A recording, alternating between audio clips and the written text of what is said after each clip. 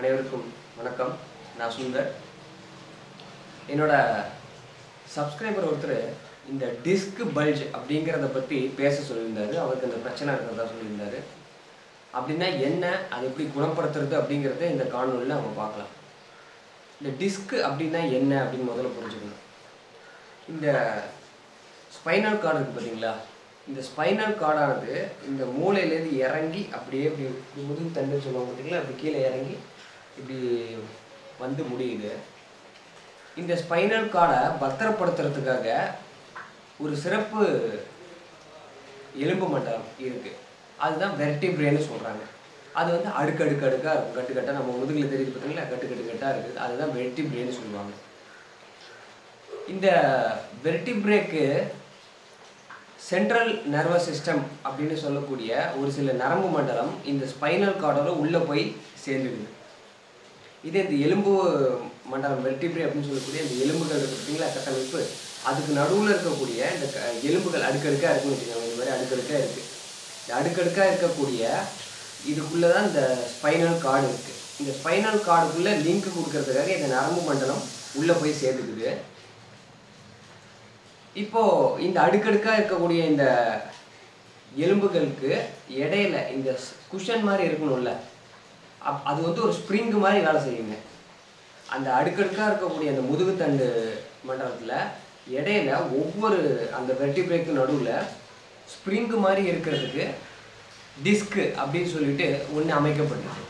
இந்த டிஸ்கில் ரெண்டு பகுதிகள் இருக்குது ஒன்று வந்து இந்த இது- இதுக்கு நடுவில் இந்த டிஸ்க் இருக்குன்னு வைங்களேன். இது வட்டமாக இருக்குது இந்த டிஸ்க்கு இந்த டிஸ்க்குக்கு மையப்பகுதி ஒன்று இருக்குது அப்புறம் அதை சுற்றி இருக்கக்கூடிய அந்த பகுதி அந்த வால்னு சொல்லுவோம் பார்த்தீங்களா சுவர் அந்த பகுதி. இது வந்து நல்லா கொஞ்சம் டென்சிட்டி அதிகமாக இருக்கக்கூடிய ஒரு பகுதி. இப்போ டிஸ்க் பல்ஜ் எப்படி ஏற்படுது அப்படிங்கிறத தெரிஞ்சுக்கலாம்.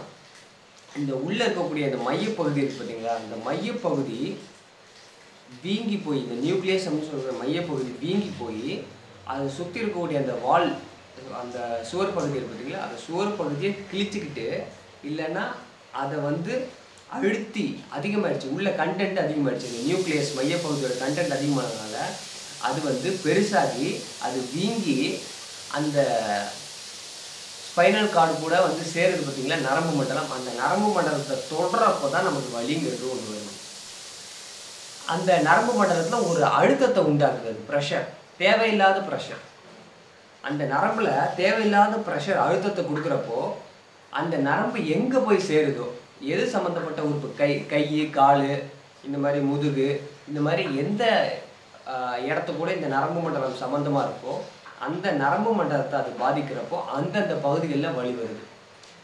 இது வந்து பல்ஜர் டிஸ்க்னு சொல்லுவாங்க. ஹெர்னியேட்டட் டிஸ்க் அப்படின்னு சொல்லிட்டு ஒன்று இருக்குது இந்த ஹெர்னியா அப்படின்னா வீக்கம்னு சொல்லுவாங்க பார்த்தீங்களா அது மாதிரி இந்த மையப்பகுதி டிஸ்கோட மையப்பகுதியில் இருக்கக்கூடிய இந்த நியூக்ளியஸ் ஆனது இறுகி போய் அதிகமாகி இது வந்து அந்த செல்வால் அதாவது சுவர் அப்படிங்கிறது அந்த அனலஸ் அப்படின்னு சொல்லுவாங்க அந்த பகுதி.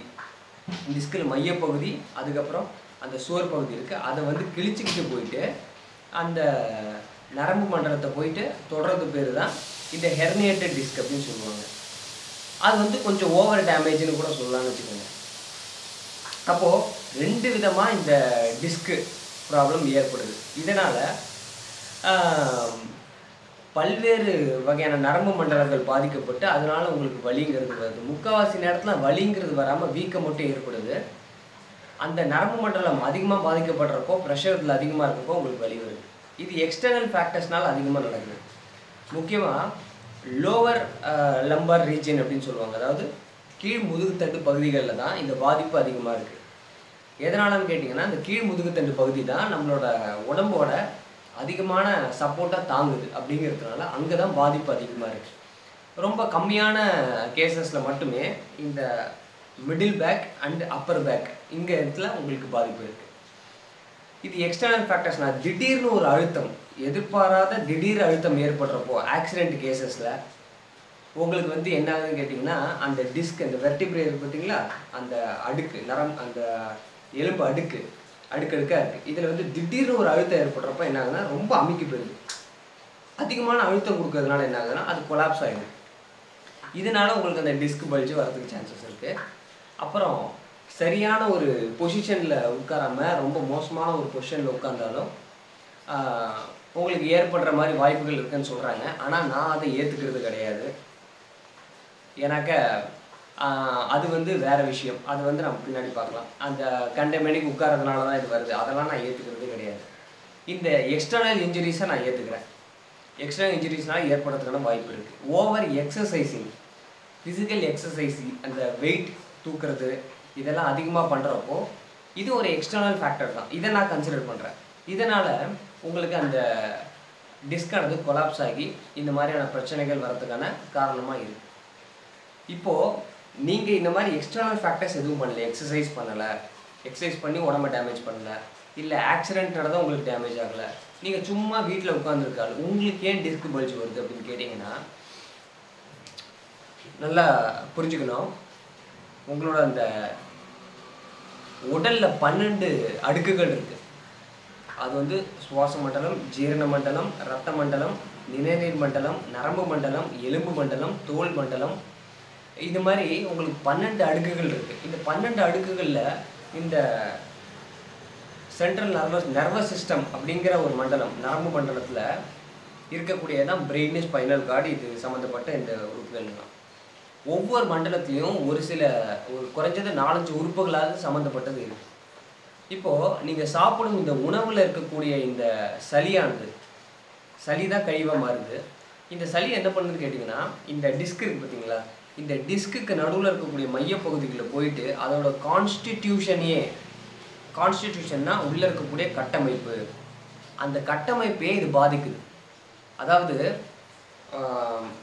இந்த வீடு இந்த ரூம் இருக்குன்னு வைங்களேன் இந்த ரூம்குள்ளே இந்தந்த பொருட்கள்லாம் இருக்குது இந்த பொருட்களை விட அதிகமான அளவு நான் வந்து குப்பையை கூட்டிட்டேன்னு வைங்களேன் இல்லை அதிகமான பொருட்களை சேர்த்துட்டேன்னு வைங்களேன் அப்போ என்ன ஆகுதுன்னு கேட்டிங்கன்னா இந்த ரூமே வந்து கொலாப்ஸ் ஆகுது. அதாவது சஃபகேஷன் ஏற்படுது ரூம்குள்ளே சரியான ஒரு அமைப்பில் இந்த ரூம் இல்லை. அப்போ என்ன ஆகுதுன்னு கேட்டிங்கன்னா அந்த நியூக்ளியஸ் ஆனது வீங்கி போகுது. அதுக்குள்ளே சளி அதிகமாக ஏறுறதுனால அந்த நியூக்ளியஸ் ஆனது மையப்பகுதியானது வீங்கி போய் அது பல்ஜ் ஆக ஆரம்பிக்குது. அது பல்ஜ் ஆகி தான் என்ன பண்ணுதுன்னா அந்த சுவர் அதாவது அந்த அனலஸ் அப்படிங்கிற அனலஸ் ஃபைப்ரஸ் அது வந்து ஒரு வகையான ஸ்பாஞ்ச் மாதிரி இருக்கக்கூடிய அந்த சுவரை வந்து அழுத்தி கொண்டு போயிட்டு வெளியில் நரம்பு மண்டலத்தில் போய் தொடுது ப்ரெஷர் கொண்டு போய் ஏற்படுத்துது. இப்போ இந்த செல்லு வீங்கிறதுக்கான அடிப்படை காரணமாக இருக்கிறது என்னன்னு கேட்டிங்கன்னா சளி தான் நீக்கப்படாத கழிவு தான் இப்போ கொஞ்ச நாள் சேர்ந்து முதல் நாள் சளியாக இருக்கக்கூடிய இந்த பொருள் நாளடைவில் பஸ்ஸாக சீல் அப்படின்னு சொல்லுவாங்கல்ல அதுவாக மாறுகிறது. அப்போது அந்த செல்லுக்குள்ள இந்த சளி போய் உட்கார்ந்ததுனால தான் இந்த பல்ஜிங்கிறத ஏற்படுத்தி உங்களுக்கு இந்த பிரச்சனையே அந்த டிஸ்க் பல்ஜ் அப்படிங்கிற பிரச்சனையே உண்டு பண்ணுறது அப்போது அந்த சளி வெளியில் போகிறதுக்கு நம்ம சரியான நேரம் கொடுக்கணும். அது வெளியில் அந்த செல்லியும் செல்லு செல்லை வந்து புதுப்பிச்சுட்டே இருக்குது உடல் வந்து புதுப்பிச்சுட்டே இருக்குது ஆனாக்க புதுப்பிக்காத அளவுக்கு நாம் அதுக்கு வந்து தொடர்ச்சியாக வேலை கொடுத்துட்டே இருக்கோம். அது என்ன வேலைன்னு கேட்டாக்க ஜீரண மண்டல வேலை. டைஜஷன் ஒர்க்கு கொடுத்துட்டே இருக்கிறதுனால என்னாச்சுன்னு கேட்டிங்கன்னா செல்லுலார் ரிப்பேருக்கு ஒரு ப்ராப்பரான டைம் இல்லை. டைம் இல்லாதனால அந்த செல் தன்னை புதுப்பிச்சுக்க முடியல தன்னை ஹீல் பண்ணிக்க முடியல தன்னை ரீஜெனரேட் பண்ணிக்க முடியல.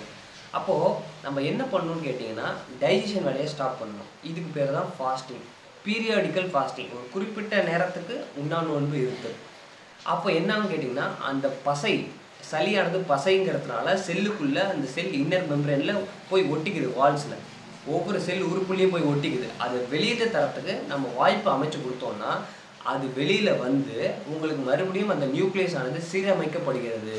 அப்போ சீரமைக்கப்படுகிறப்போ உங்களுக்கு என்ன ஆகுதுன்னு கேட்டிங்கன்னா அந்த வீக்கம் எல்லாம் குறைகிறது. உங்களோட இயல்பு தன்மைக்கு வருகிறது. இப்போ அந்த ஃபை அனிலஸ் ஃபைப்ரஸ் அப்படின்னு சொல்லக்கூடிய அந்த வால் அதாவது சுவர் செல் சுவர் கிழிஞ்சிருந்தா கூட மறுபடியும் செல்லுலார் ஸ்ட்ரக்சர் ரிப்பேர் ஆகிறதுக்கு நம்ம சரியான நேரம் கொடுத்தோம்னா அது நமக்கு சீரமைக்கப்பட்டு அந்த பிரச்சனையிலேருந்து நம்ம விடுபடலாம். அந்த போஸ்டர் நான் பற்றி சொல்லியிருந்தேன் பார்த்தீங்களா கண்ட போஸ்டரில் உட்காரதுனால வருதுங்கிறாங்க. அதை நான் ஏற்றுக்கிறது இல்லைன்னு சொல்லிட்டு அதை ஏற்றுக்கிறதே கிடையாது. ஏன்னாக்க உடல் வந்து சீரமைக்கப்பட்டுக்கிட்டே இருக்குது நம்ம எந்த போஸ்டரில் உட்காந்தாலும் டேமேஜ் சும்மா கீழே இப்படி குடிச்சிக்கிட்டே இருக்கோம்னு வைங்களேன்.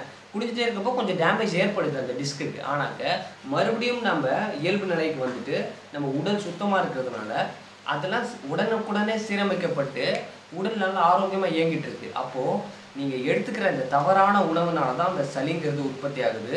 அந்த தவறான உணவுகள் எல்லாமே மாவு பொருட்கள் கார்போஹைட்ரேட்ஸ் அரிசி கோதுமை ரவை தானியங்கள் இந்த பருப்பு வகைகள் அப்புறம் எண்ணெய் வித்துக்கள் இது போல் பால் இறைச்சி மாமிசம் முட்டை இது எல்லாமே வந்து சளி உற்பத்தி பண்ணக்கூடிய உணவுகள். இந்த உணவுகள்லேருந்து நீங்கள் முதல்ல நீங்கி இருக்கணும். இதை நீங்கி இருந்தால் தான் கூடுதலாக உடலில் சளி சேர்க்காம இருக்க முடியும்.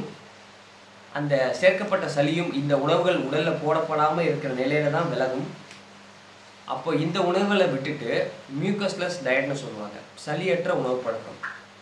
கீரை காய்கறிகள் பழங்கள் இதை மட்டுமே நீங்கள் தொடர்ச்சியாக சாப்பிட்டுட்டு வரப்போ உங்களுக்கு உடலில் இருக்கக்கூடிய இந்த தேவையில்லாத சளியானது நீக்கப்படாத சளியானது கொழுப்பானது வெளியில் வந்து உடல் வந்து புதுப்பிக்கிறதுக்கு ஒரு நல்ல சூழல் உள்ளே அமைச்சு கொடுக்க முடியும். ஸோ இதை புரிஞ்சுக்கங்க. புரிஞ்சுக்கிட்டு உண்ணா நோன்பு இருங்க.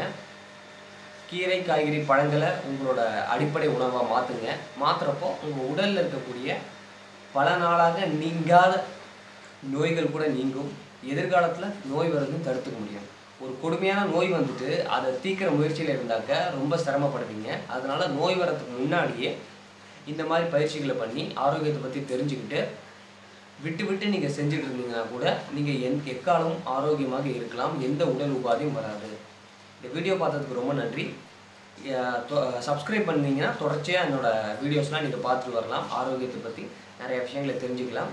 இதை வந்து நண்பர்களுக்கும் நீங்கள் ஷேர் பண்ணி அவங்களையும் சப்ஸ்கிரைப் பண்ண சொல்லுங்கள் பணம் செலவே இல்லாமல் நம்ம எளிமையான முறையில் ஆரோக்கியத்தையும் நல்ல பழக்கங்களையும் ஒழுக்கங்களையும் கற்றுக்கலாம் நன்றி வணக்கம்.